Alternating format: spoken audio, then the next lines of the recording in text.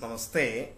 നമ്മളിന്ന് ഒരാളുടെ ജാതകത്തിൽ ബുധൻ അനുകൂല സ്ഥാനത്താണെങ്കിൽ അത് അനുകൂലമായ സ്ഥാനത്താണെങ്കിൽ അവരുടെ ജീവിതത്തിൽ ഉണ്ടാകുന്ന ചില പ്രത്യേകതകളെ കുറിച്ചാണ് ആലോചിക്കുന്നത് ചിന്തിക്കുന്നത്. വാക്കിന്റെ അധിപതി ബുധനാണ്. അങ്ങനെ ബുധൻ നല്ല ബലവാനായിരിക്കുന്നവരെ സംബന്ധിച്ചിടത്തോളം നല്ല വാക്കുകൾ പറയാൻ കഴിയും.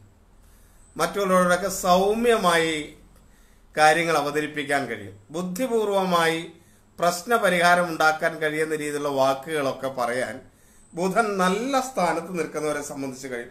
അതുപോലെ നല്ല യുക്തി ഉണ്ടാവും. നല്ല യുക്തി ഉണ്ടാവും. യുക്തിപൂർവം കാര്യങ്ങൾ സംസാരിക്കാൻ കഴിയും. വിദ്യാഗുണമുണ്ടാകും.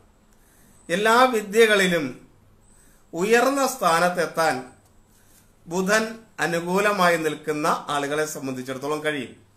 മറ്റ് ഗ്രഹങ്ങളുടെ കാര്യങ്ങളും ഇതിൽ ബാധകമാണെങ്കിലും ബുധൻ ജാതകത്തിൽ അനുകൂലമാണെങ്കിൽ വിദ്യാഗുണം നന്നായി കിട്ടാനുള്ള യോഗം കൂടുതലുള്ള ആളായിത്തീരും എന്നർത്ഥം. അതേപോലെ ഗണിതത്തിൽ മികച്ച ഒരു പ്രകടനം കാഴ്ചവെക്കാൻ ബുധൻ അനുകൂലമായവർക്ക് കഴിയും. അധ്യാപക വൃത്തി കുറച്ചുകൂടെ നല്ല രീതിയിൽ അവർക്ക് മുന്നോട്ട് കൊണ്ടുപോകാൻ കഴിയുന്ന ഒരിതാണ് അധ്യാപകൻ അക്കൗണ്ട് ബാങ്കിലെ അക്കൗണ്ട് ബാങ്ക് മേഖലകളിലെ തൊഴിൽ കണ്ടെത്താനൊക്കെ സഹായിക്കുന്ന വിദ്യാഭ്യാസമൊക്കെ ബുധൻ ജാതകത്തിൽ അനുകൂലമാണെങ്കിൽ കഴിയും. അതേപോലെ വിദ്യാകാര്യങ്ങളിൽ നിന്ന് അധ്യാപക രംഗത്തൊക്കെ അങ്ങനെയുള്ള കാര്യങ്ങളിൽ നിന്നൊക്കെ ധനലാഭം ഉണ്ടാക്കുന്നതും അതിനുള്ള ധനം വരുന്നതും ബുധന്റെ കഴിവ് കൊണ്ടാണ് ബുധഗ്രഹത്തിന്റെ സ്വാധീനം മൂലമാണ്. അതുപോലെ ഗുരുക്കന്മാരുടെയൊക്കെ അംഗീകാരം ഇങ്ങനെയുള്ളവർക്ക് കിട്ടും.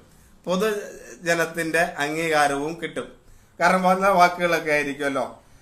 ധനലാഭം ഉദ്യോഗലബ്ധി ഗണിതപരമായ കാര്യങ്ങളിലുള്ള ഉദ്യോഗലബ്ധി അതേപോലെ ബുദ്ധിശക്തി സാഹിത്യ പ്രവർത്തനങ്ങളൊക്കെ നടത്താൻ കഴിയുന്നത് ഇങ്ങനെയുള്ളവർക്കായിരിക്കും. അല്ല ധാർമ്മിക കാര്യങ്ങളിലൊക്കെ ഒരു താല്പര്യവും ഇങ്ങനെയുള്ളവർക്ക് ഉണ്ടാകും അപ്പൊ ബുധൻ ആണ് നമ്മുടെ വിദ്യയെയും വാക്കിനെയും ബുദ്ധിയെയും യുക്തിപൂർവമായ ചിന്തകളെയും ഒക്കെ സ്വാധീനിക്കുന്ന ഗ്രഹം ബുധനാണ്.